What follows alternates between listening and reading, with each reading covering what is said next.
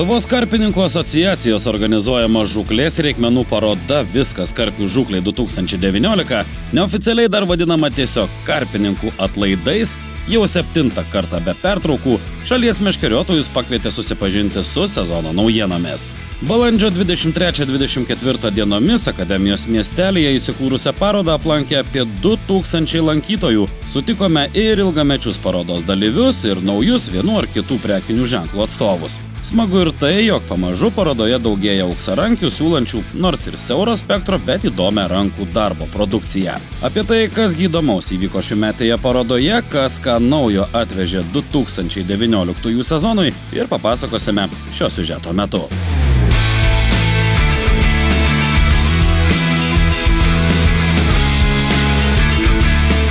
Verta ar neverta užsukti į parodą viskas karpių žuklėje, atsakymo toli ieškoti nereikia. Nepaslaptis, jog bet kurią prekę čia galima įsigyti labai patraukliomis kainomis, nors kita vertus, tai galima padaryti bet kurioje kitoje parduotuvėje. Tačiau visada yra vienas bet. Čia galima sutikti ko gero visą Lietuvos karpiautojų elitą. Žvėjus, kurie lankytojams atveria visą savo patirties kortas. Tad paėmus bet kokį daiktą į rankas, apie jį galima gauti ne tik sausą katalogo informaciją, bet ir gerąją to daikto savybes išbandžiusio žmogaus patirtį. Nesuklysime sakydami, kad beveik kiekviename stende su parodos lankytojais bendravo garsiausi šalies karpinės žuklės sportininkai, valų jaukų, įrangos ar masalų kūrėjai. Ir vienoje vietoje jie susirenka kartą per metus. Taip, taip, jie susirenka parodoje Viskas karpių žukliai 2019.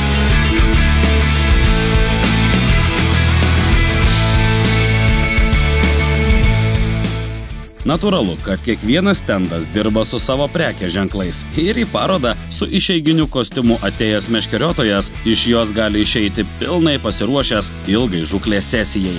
Taip, akis čia raipsta nuo meškerių, kėdžių aprangos ar paskutinio metro smulkmenų gausos, nosis užuodžia šimtus kvapų, tačiau ne kiekvienas gali išvelgti višnaitę ant torto, ypatingas sezono naujienas. Tad įmame mikrofoną ir klausime dalyvių, kasgi naujo parodoje.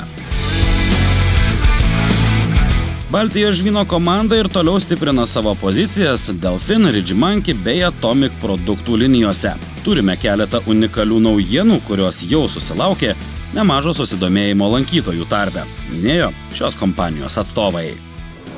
Akcentuojam daugiausiai Delfino produkciją, kurią ir praeitais metais matėte mūsų parodoj ir šiais metais dar įvedėme naują prekinį ženklą Atomic. Pavadėliai, kabliukai, Kabliukai skirti gal daugiau, sakyčiau, laukiniai karpių žūkliai. Ir išplėtėm šiais metais visą sortimentą, tiek pašarų atžvilgių, tiek visų smulkmenų. Kas e, susilaukė iš karto kaip ir naujiena Lietuvoje, bet didelio susidomėjimo žvėjų, tai Jelly Wire pavadėliai. Jie yra super ploni, super minkšti, tiesiog tai reikia išbandyti. Delfino produkcija yra e, nuo kabliukų iki palapinių. E, labiausiai pažįstama žviejų iš delfino produkcijos yra gultai, palapinė jūrta, kurie jau tikrai visi žino pagal jos kainą, dydį ir kokybę. E, jisai gal sakyčiau yra šiek tiek ekonominės klasės visa produkcija, bet pradedančiam, pradedančiam žvėjui tai labai gerai ir nesikandžio kainos. Mūsų parduotuvė įsikūrusi Kaune, Jotvingių gatvė 15 ir visų laukiame darbo dienomis nuo pirmadienio iki penktadienio ir taip pat šeštadienį pusę dienos. Na ir mūsų auksarankiai - baltyminių kukulių svaidyklių. Kobrų gamintojas Andrius Senkus jau nebe pirmus metus parodoje pristatė savo rankų darbo produkciją. Nedidelis And Just One stendas susilaukė daug dėmesio, mat kur jau kur, o čia apie kobras buvo galima sužinoti ypač daug. Naujienos, jų turiu tikrai nemažai, savo stende mums pasakojo Andrius. Sveiki, esu Andžesuonas, e, gaminu kobras, e, rankų darbo, pats sukujas. E, mane galite rasti Andžesuon puslapį arba netgi nu, Facebook Andžesuon puslapis yra atskiras. Arba asmeniškai galite Andrius Sankus susirasti, asmeniškai rašyti. Šių metų naujienas galiu biškai pristatyti. Tai padariau kobras su įdėjimu per apačią Galit boilį dėti iš apačios arba iš viršaus, tai čia nėra skirtumų. Bet šiaip va, įspaudžiat, boilis neiškrenta, tai turi tokią kobrą. Toliau naujiena. Naujiena yra ilgis. Buvo praeitais metais iki 1,10 m ilgumo, dabar turiu netgi 1,30 m. Ilgių diapazonas yra nu, nuo 60 cm iki 1,30 m. Tai ką duoda ilgis? Ilgis duoda, kuo ilgesnė kobra, to jūs toliau aišku mesite. Bet vėlgi atsirinkite savo sudėjimą. Jeigu jūs būsite ten, nu, žemas, neturėsite didelio sudėjimo, tai ta 1,30 m kobra nelabai tiks jums. Geriau ten jau iki 1,10 m tada kokią kobrą pasimti. Praktiškai tiek pat numesit, kiek ir su ta 1,30 m. Tai va, o jau kas turi ten 2 metrus, e, yra stambus, tai jau gali ir 1,30 m naudoti, 1,20 m kobras. Dar naujiena yra viena, kad anksčiau nedariau 25 mm vidinio diametro. Buvo tik 22 ir 20, tai dabar yra ir 25 mm. Tai galite jau, manau, ir 24 boilį mesti. Dar naujiena rankena. Turėjau tokias rankenas su termovamsduku, guma buvo. O dabar darau, e, traukiu dirbtiną odą, gan patogesnė rankena, biški pastorintai jau gaunas.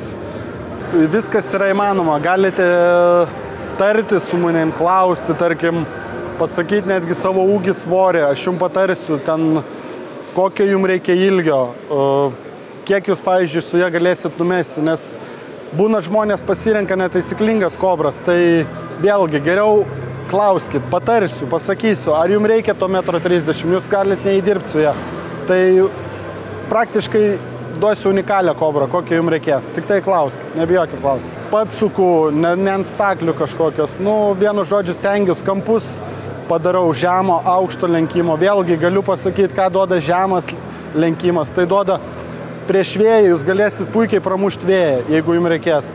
Aukštesnė trajektorija lenkta kobra, lekia šiek tiek aukščiau, jau tada įtakoja vėjas. Bet vėlgi, jeigu mesit pavėjų žinomas aukštos kobros, mesit toliau. Pristatinėti, kas yra Renmar Bites, ko gero nereikia nei vienam Lietuvos meškeriotojui.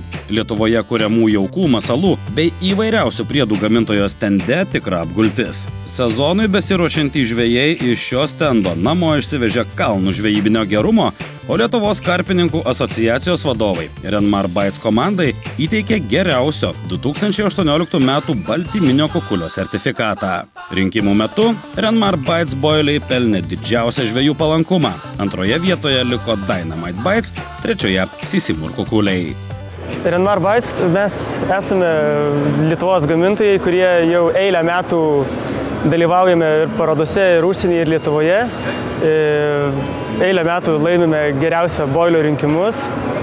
Stengiamės gaminti ir savo, ir tautai, kadangi esam šio, šios karpių žuklės entuziastai. Ir šiemet pristatėme, tiksliau, savo peletes pagerinome dar labiau, nors jos ir taip jau buvo tikrai pakankamai sudėtis jų buvo aukšto, kokybiška, aukštos klasės, o šiemet į, į jas e, sugalvojame įterpti naujovę, pagerindami e, su maltais ikrais ir sraigėmis. E, tam, kad padidintume baltymų kiekį juose nu, ir taptų jos patrauklesnės žuklavietėje. Šitas įėjimas padarytas visoms mūsų visos serijos e, granulėms, tiek ir pigesniems, tiek ir brangesniems. Kiekis tai yra saliginai apie 80 procentų e, tų sraigių ir ikrų, sakykime taip. E, o, o, o... Kilograme, ar ne? Jo, kilogramės. Parodoje mes pristatome visą tai kibiriukų formoje, o priekyboje parduotuvėse bus, kaip visada, po pusantro kilogramo fasuotėse. Kompanija Anglera gerai žinoma flagman ženklo atstovai. Taip pat neatsilieka nei nuo lengvos dugninės meškerės, fiderio pasaulio, nei nuo karpiavimo madų. Šiame stende ir profesionalų pripažinta ryčių serija ir naudingos smulkmenos tiek mėgėjams, tiek pažengusiems meškeriotojams. Esame Anglera įmonė, prekiaujame flagman produkciją, esame atstovai Lietuvoje, Latvijoje, tai automatiškai pristatome ir visus flagmano leidžiamus specializuotus brandus, taip sakykime, tai yra Carpro, Azuras piningavimui, flagmanas pats, ypač daug turim dugniniai reikmenų skirtų, plūdiniai, bet ir karpiniai, jau minėtas mano Carpro. Iš tiesų turim daug, daug visko gultų, bet apie tai, na, nėra reikalo kalbėti. A, trumpai gal flaperitės, iš tiesų geras produktas, tai yra 18 metų naujiena, visa Ukrainos rinktinė jas naudojo pasaulio čempionate. Kaip žinom, yra pačių įvairiausių modelių, nuo 6,5 tūkstančio sekliais būgneliais ar netolimam metimui galima naudoti pintą valą, iki 10 tūkstančių gilių būgnelių, priekinis stabdis, galinis stabdis, įvairios modifikacijos, tikrai geros, tikrai patikimos. Ir, sakyčiau, už biudžetinę kainą tai yra 100 eurų mėgėjam, naujokam, pradedantiesiems. Viena tokių naujienų iš tiesų labai paprasta ir lengva. Tai yra jau surištos sistemėlės. Jų yra pačių įvairiausių. Ir helikopterio sistemėlė, ir inlinas, ir flat method sistemėlės, PR sistemėlė. Jos yra su kabliukais, su litkoru, su šeriklėlėm arba svareliais, įvairiausių gramatūrų. Ir vos kainuoja šiek tiek daugiau negu 3 eurai. Viskas surišta, prisiriši prie miškerės, prie pagrindinio valo, į vandenį, gaudai žuvį ne tik tai dugninėje, ne tik tai plūdinėje, bet ir karpinėje žuklėje. Turim labai plačią gamą Armadale, tokia, na, sakykime, aukštesnės klasės EVA produkcijos linija. Didžiausios, mažiausios dėžutės skirtos masalams, jaukams, skyščiams, PVA visokioms koinėms ir taip toliau susidėti. Hermetiškos, nepraleidžia vandens, nepraleidžia kvapų patogios susidėti. Pavyzdžiui, štai šitoje. Atsidarai, čia yra keturios dėžutės viduje. Dvi tokios, dvi tokios. A, yra didelės tašės, kur tilps tikrai daug pašarų, boilių, nepraleis vandens, nepraleis kyščių, automobilis liks sausas, švarus po žuklės. Na ir Vėlgi, varia variacijų daugybė, ar ne? Dydžiai. Variacijų tikrai daugybė, įvairiausi dydžiai, įvairiausi modeliai, a, tikrai labai paklausus produktas. Taigi tiek būtų naujienų, jų aišku yra daugiau, bet paroda baigėsi, pačiupinėti aišku jau nieko nelabai pavyks. Kviečiame į mūsų parduotuvę www.anglera.lt elektroninę arba galite tiesiog atvykti į Alytų. Anglera adresą rasite parduotuvėje. Flagman produkcijos klauskite parduotuvėse visoje Lietuvoje. Gerai žinomos parduotuvės Sipra komanda savo stende startavo su daugeliui pažįstamomis jaukinimo granulėmis Kopens ar naujo modelio magnetinė jaukinimo raketa Spider, kuri ypač tinkama skystiems jaukams užmesti. Siprak pristatė ir savo produkcijos liniją jaukams pagardinti, o anot įmonės vadovo greitų laikų pasirodys ir Siprak masalai, granulės bei kita firminė produkcija, kuri šįsik nespėjo pasiekti parodos. Didžiausia šio stendo žvaigždė šiemet ypatingas svečias - karpininkų pasaulyje puikiai žinomų Katran valų kūrėjas ir šios kompanijos vadovas Vitalijus Kremnicas. Šis žmogus gyva valų enciklopedija pirmą parodos dieną surengė seminarą, kuriame apžvelgė valų naudojimo ypatumus, atliko praktinius apkrovų bandymus. Ko gero didžiausią įspūdį paliko štai šis tvirtumo testas, kuomet valu buvo pjaustomi tušti valo ritinėliai.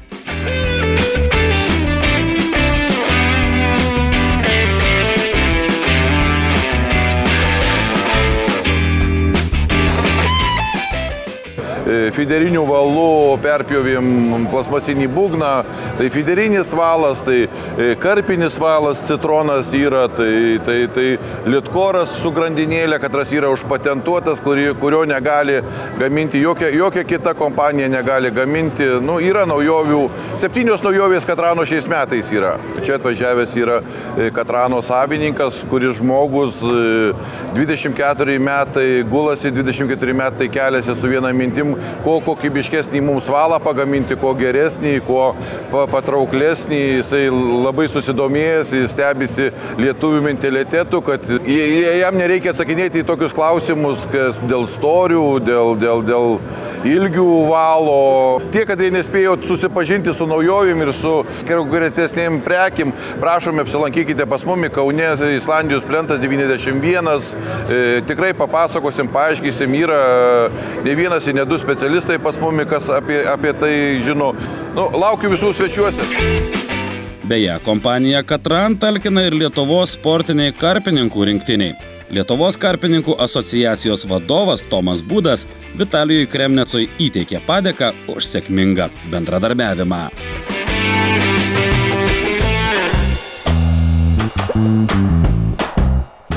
Lietuvos sportinės karpių žuklės čempionų trofėjais pasipuošęs žuklio stendas kiekvienais metais pristato Dynamite Bites jaukų, jų priedų bei masalų naujienas. Prie visų gerai žinomų Complex T, Surs ar Hot Fish linijų šiemet žuklys pristatė ir naujus kyščius bei masalus. Apie juos pasakoja Dynamite Bite žuklys komandos flagmanas Saulis Navickis. Nu, žuklio kompanija yra kauniečiai, OB Vilmanda, kitaip vadinamas žuklys, prekiauja, jeigu kalbėti apie karpių masalus, tai yra pagrindinis mūsų akcentas yra Dynamite Bites kompanija, yra viena iš didžiausių turbūt pasaulinio lygio kompanijų, kuri pastoviai kažką galvoja naujo, kūrė ir pastoviai domisi, neatsilieka nuo pasaulio, nuo rinkos, nuo tendencijų, nuo madų. Bolių linija smarkiai kažkaip nepasikeitė, dasidėjo pernai naujiena, buvo hot fishas, galėjimas, hot river fish, bet jo šiuo metu mes nesame atsivežę, o pagrindė tai kas dasidėjo, tai yra skyšiai, wafteriai, tai yra balansuoti masalai ir hit and run serija dasidėjo, šiuo metu lygia tik tai va keli pavyzdžiai, buvom, turėjom visus, jų yra penkios ar šešios rūšis. Hit and run tai buvo sukurtas masaliukas grinai žiūrint iš e, karpio žvilgsnių, kaip, kaip pasakė jo kuriejas, jisai nardė po ežerą ir žiūrėjo, kokiam gilyje, ant kokio dugno geriausiai žiūrisi kokia spalva. Kvapas čia nėra nurodytas, bet jeigu pasižiūrėsime, tarkim, geltonis, tai citrusinio kvapo yra, jų yra balta spalva, tai skirta ant dumblo, didesniam giliui, kad matomumas geresnis, raudona, rūžava, žolė gaudant, geltona ant kieto dugno skirta. Be jokio masalai yra mažo, mažai įpakavimų su viduje traktoriu, bandysim šiemet būtinai. Taip pat atsirado wafteriai, balansuoti boiliukai. Yra visų premium klasės, nuo, pradedant nuo Tiger Natso iki komplekso. Jie yra dumbelio formos, neapvalus boiliukas. Jisai skirtas naudoti jį vieną, jisai balansuotas yra. Jisai švelniai pakilęs nuo dugno. Anksčiau reikėdavo, norint paduoti, reikėdavo pjauti skęstantį, prie jo imti tokį patį plaukiantį ir balansuoti, žiūrėti, kad sakė, dabar išleido, kad galima būtų palengvino šiek tiek žvėjam. Nu ir skyšiai, skyšiai, taip, dasidėjo prie gausio būrio litrinių e, likvidinių skysto maisto kompleksų, dasidėjo sliekų ekstraktas, ir garlikas, tai yra mm, česnakas. Dasidėjo šitie du. Taip pat buvo išleista fletui labai daug naujienų, tai yra feederiui gaudyti, tai yra serija visa skirta peletėms. Tai yra e, betainas, vinstimas, F1 ir atsirado taip pat ir šaltam vandeniu, kas turbūt aktualu mums yra. Prie šitos serijos taip pat yra ir peletės, kurios, e, kurios manau, yra savo pirkėją ir žvėją. UAB fanatikai ir Sisimur. Tai ko gero jau į vieną visumą suaugę pavadinimai Lietuvoje. Šimtai šio Anglijos gamintojo jaukų masalų ir skistųjų priedų jau nieko nestebina. Išbandyti bei išmokti naudoti viską galbūt prireiktų kelių žvejo gyvenimų. Na, o jei rimtai, nepasiklysti šiame stende padėjo sportinės karpių žuklės meistras Remigijus Pupelis, kuris taip pat pristatė kitas fanatikų naujienas. Kaip ir kas metai fanatikų kompanija atstovauja vieną iš, aš sakyčiau, garsiausių ir vieną labiausiai patyrusių kompanijų e, gamyboje karpininkų jaukų e, skistųjų papildų ir, ir, ir masalų, tai yra Sisimur kompanija. Taip pat e, UAB fanatikai pristato jau seną, gerą, visiems pažįstamą Richard kompaniją, kuri jau buvo kurį laiką užmiršta ir jau kelinti metai jinai vėlgi atsiradusi, atgimusi naujai su visa gama masalinių kukulių ir taip pat širiminių kukulių. Bet norėčiau akcentuoti į tikrai nenaują produktą, tik tai, kad gal Lietuvoje jį nėra labai populiarų. Tai yra anglų kompanija, Minstral kompanija, kuri gamina baltyminius kukulius tiek jaukinimui, tiek šeriminius ir skistuosius papildus, kurie pastiprint kvapam ir, ir granuliuotą jauką. Vėlgi tai yra kompanija su gana didelė patirtim, daugiau negu 30 metų turinti patirtį ir susivienijusi su Richardo kompanija atnaujino savo produkciją ir vat, UAB fanatikai šią kompaniją pristato. naudodamasis progą norėčiau parekomenduoti šitą kompaniją ir pasakyti, kad šiai dienai yra tokiomis kainomis, truputėlį žemesnėmis kainomis negu kitos stipriai žinomos ir tvirtos kompanijos, bet jų produkcija lygiai taip pat kokybės atžvilgių yra gera. Naudokitės progą, kol jie yra nežinoma, yra tokia kaina. Kai bus jau žinomi, populiarumas išauks ir kai sako, nu, yra dempinguojama kol kas, taip kad pasinaudokit progą, tikrai išbandykit.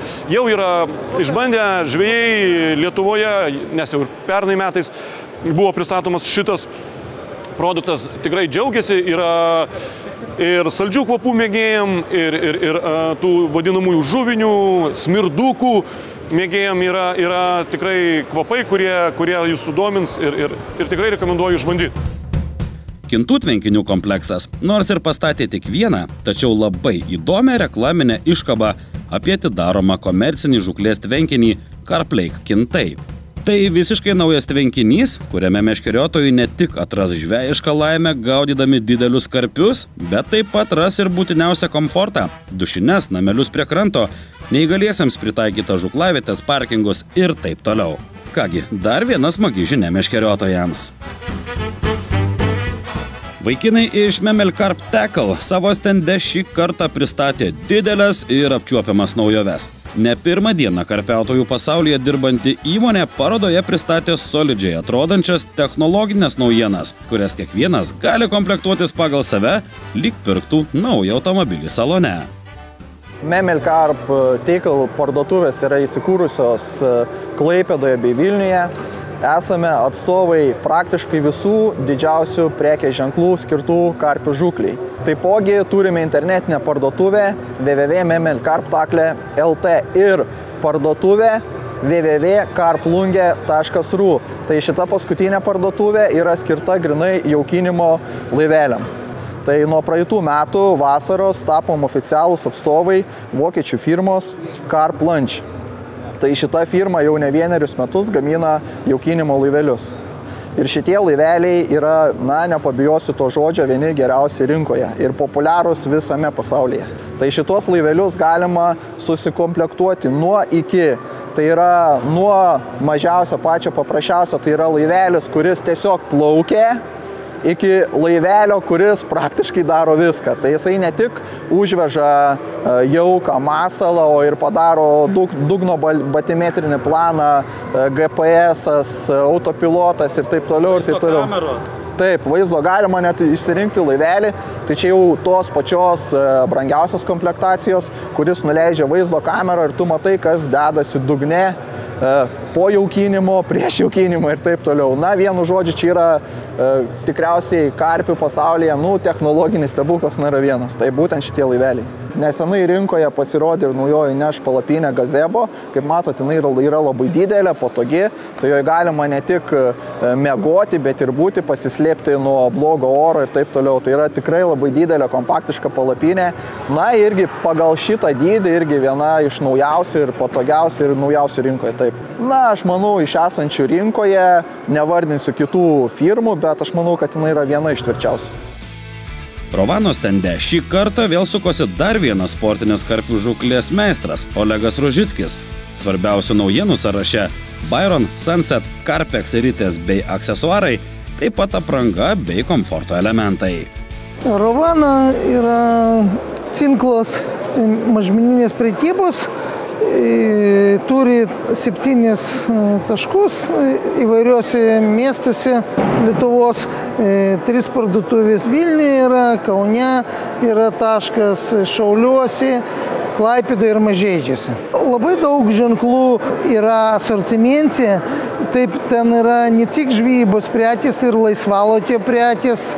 Šioje parodoje pristatom rytis asortimente, jūrinis rytis Sunset firmos čia prancūzų irgi padalinys, e, skirtus jūriniai žukliai, bet labai tinka ir karpiniai, e, lengvos yra, labai gerai sukasi, būgnai yra keli skirtingų talpumo, e, labai tinka gerai tolimam mytimui ir kaina jų nėra labai kosminė.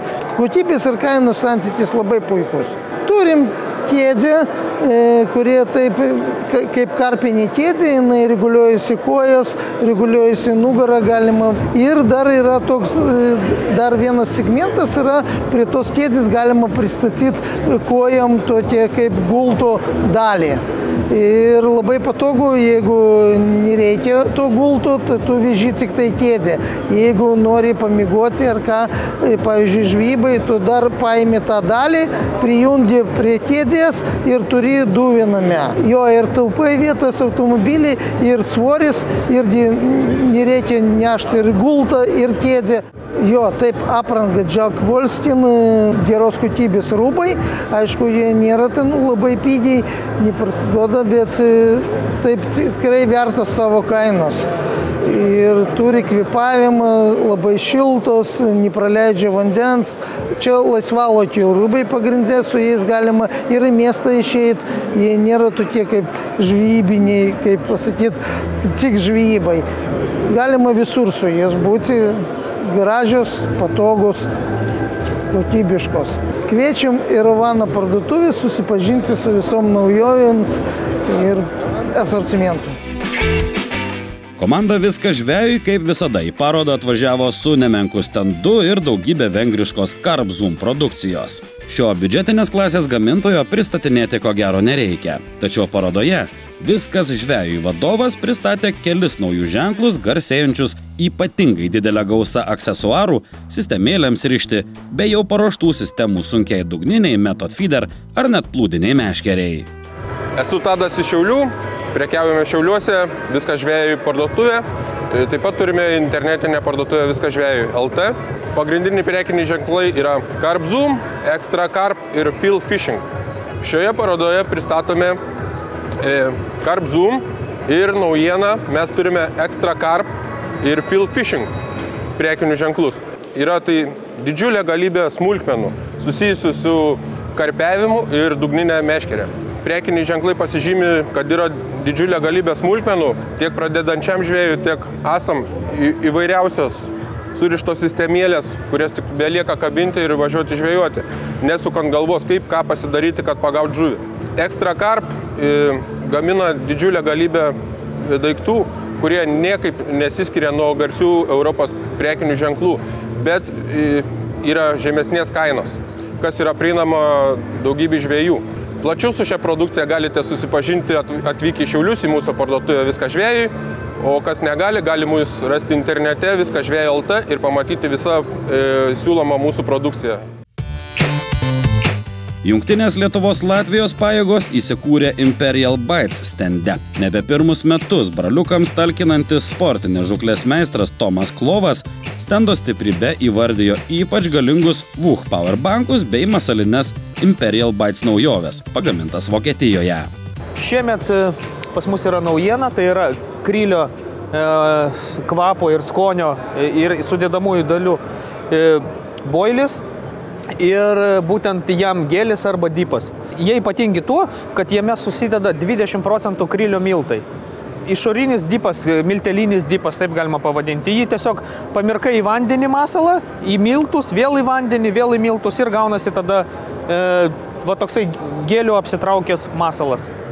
Miltelinis gėlis, miltelinis dipas yra ypatingas tuom, kad e, jisai ne tik, kad kvepia, E, tuo pačiu skoniu, bet jį galima ir į bet kokį masalą pamirkyti, tai yra ir gali būti sliekas, kukurūzas, boilis, bet, bet koks masalas.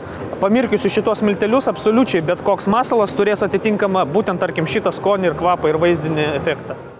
Gėliui apdirbus masalą įmetus į vandenį, e, jisai patampa po 10 minučių būtent toks kaip tie, kurie yra šalia jo.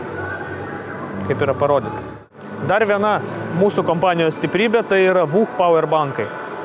E, yra silpnesnės ir galingesnės. E, galingesnis užtenka man asmeniškai dviem, trim varžybom, tai yra maždaug devynios paros, e, dviese kraunam telefonus, e, kompiuterius, planšetą, bet ką, apšvietimas ir mažesnis yra, kurio pakanka vienoms varžyboms, tarkim, 3-4 parom mūsų komandai dviem žmonėm. Didysis powerbankas turi 90 tūkstančių mAh, o mažesnysis 40 tūkstančių mAh. Prie šių powerbankų galima prijungti tiek lėdinės lemputės, tiek paprastą apšvietimą, bet kokią lempą, kurią galite ir patys tada visus visokius pakrovėjus, prie didelio yra jungtis 220 išeinanti. E, yra razėtė, su juo galima drąsiai krauti. Taip, yra, yra šviestuvas, vienas, kitas, e, netgi yra laidai užvesti automobilį. Taip, iš tikrųjų galingas reikalas. Na štai, visi norėjo ką nors papasakoti, jau išklojo viską. Paroda Viskas karpių žūklį 2019 artėja link pabaigos. LKA prezidento Tomo Būdo manimu, ji auga pamažu, kasmet savaime atsiranda minčių, ką ir kaip galima keisti, ir tie pokyčiai tik į gerą. Mes, mes ir dabar vaikščiodami po parodą, su, ypatingai su LK nariais, mes jau galvojam apie kitus metus, apie sekančius metus, ką galim patobulinti. Taip, tai nėra ta paroda, kur europinio lygio, bet mes, mes ir džiaugiamės, kad ir tokia mažytė mūsų paroda, mes visiems džiaugiamės. Ir mes kiekvienais metais galvojam vis kažką tai naujo sukurti. Tai manau, kitais metais nustebinsim naujovėm. Tai jau mūsų yra septintoji paroda. Ir jinai vis e, su kiekvienais metais plečiasi ta paroda, atsiranda daugiau priekeivių, daugiau prekybininkų, daugiau svečių sulaukiame. Lyginant su pernai, pernai buvo nedėkingas laikas parinktas mano, mano supratimu, e, dar buvo ledas e, ant ežerų, daug žvėjų aukojo parodą ir važiavo žvėjoti ant ledo, nuo ledo. E, bet mes, reikia ir mūsų supras, mes parodą planuojam prieš pusmetį pradėm, mes nežinom, koks pavasaris bus, kaip, aišku, dabar mums labai gerai nuskilo puikus oras, bet žvėjam nėra ką daryti šiuo metu, nei karpiai kimba, lydekų negalima gaudyti, ledo irgi nėra, tai gal dėl to ir sulaukiam daugiau svečių. E, kiekvienam žmogui turbūt labai norisi ne tik e, per socialinius tinklus pabendrauti ar per YouTube kanalą pasižiūrėti, kaip rišami pavadėliai, gyvai, gyvai pabendrauti visiems norisi. Tai mes rengėme tokius dalykus, jau kasmet rengėme tai seminarus apie kažkokį tai produktą, apie naujoves. Šiemet pristatė Katranas savo naujoves, apie valus daug papasakojo. Buvo forumas su rinktinė, aišku, gyvai klausimai uždavinėjami, atsakėmi, tikiuosi, gal ne viską atsakėme, bet e, bus dar to laiko ir socialiniuose tinkluose galima paklausti tų dalykų. E, šiemet dar kaip ir naujovės buvo e, pavadėlių, sistemėlių ryšimas, tikrai buvo didelė paklausa, žmonės ėjo prie tų stalų, domėjosi, kaip surišti elementariai, mums tai atrodo visiškai elementaru, kai jau daug metų žvejojame, bet yra tokių žmonių, kurie tikrai nežino, kaip vieną ar kitą mazgelį surišti. E, dar vienas iš naujovių buvo taiklus mėtymas su meškerė į taikinį. Ten irgi buvo laukia padarytas tas konkursas, gavo, įsteigėm prizikus.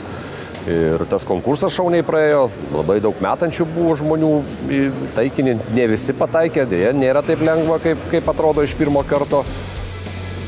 Kągi, štai taip atrodė 2019 metų paroda Viskas karpių žūkliai, kuriai praūžus karpininkai pradeda trepsėti prie durų, laukdami bent kiek šiltesnių orų. Parodos organizatoriai - Lietuvos karpininkų asociacija lankytojams linki nežvyno ir iki susitikimo prie vandens arba po metų akademijoje parodoje Viskas karpių žūkliai 2020.